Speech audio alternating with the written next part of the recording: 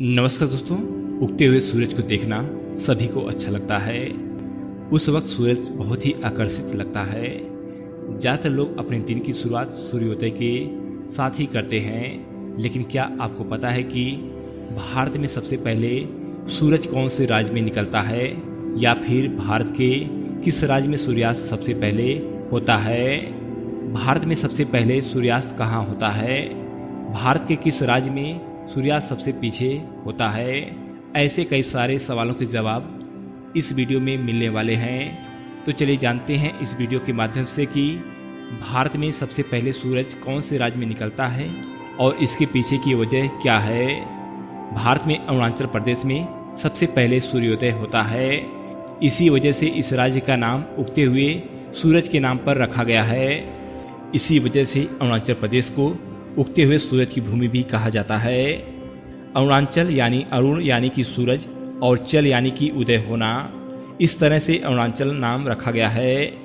अरुणाचल प्रदेश में मौजूद Dong valley की देवांग घाटी भारत में मौजूद एकमात्र ऐसी जगह है, जहाँ पर दिन और रात का समय भारत के अन्य राज्यों से अलग है।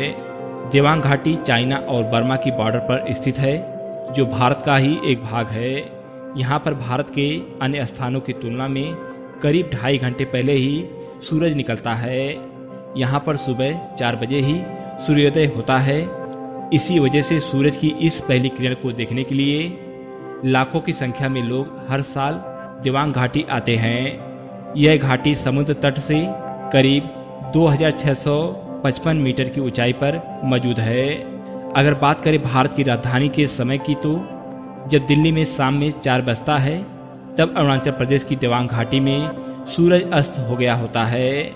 यानी कि रात हो जाती है।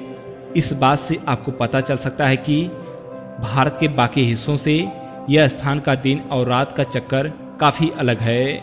इससे एक और सवाल का जवाब भी आपको मिलेगा कि भारत में सबसे पहले सूरज कहाँ डूबता है, या फिर भारत में सबसे पहले सूर्यास्त कहाँ होता है।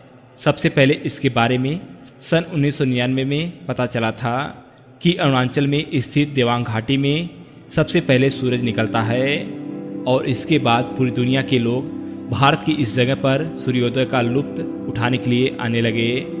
जैसे कि हमने आपको बताया कि किस राज्य में सबसे पहले सूर्योदय होता है, ठीक उसी तरह भारत का एक और राज्य भी है, जहाँ पर सबसे बाद में सूर्यास्त होता है। यानी कि जब बाकी के सभी राज्य अंधेरे में आ जाते हैं, उसके कुछ मिनटों के बाद इस राज्य में अंधेरा होता है। भारत के गुजरात राज्य में स्थित गुहार मोती, जो भारत का सबसे आखिरी पश्चिम छोर है, वहाँ पर सूरज सबसे आखिर में अस्त होता है। समर के टाइम पर गुजरात में शाम के सात बजकर तीस मिनट के बाद सूरज अस्त होता है।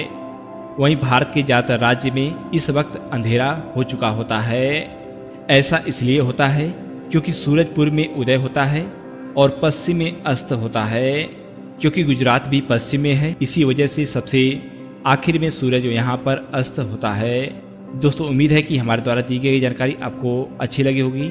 अगर दोस्तों आपको वीडियो अच्छा लगा हो तो वीडियो को लाइक करिएगा, चैनल को सब्सक्राइब करिएगा और दोस्तों साथ शेयर करना ना भूलिएगा।